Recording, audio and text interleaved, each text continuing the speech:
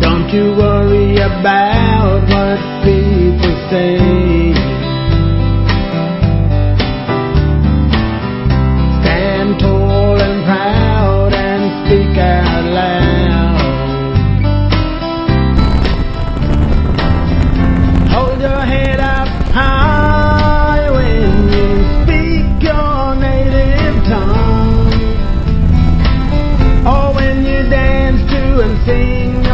time.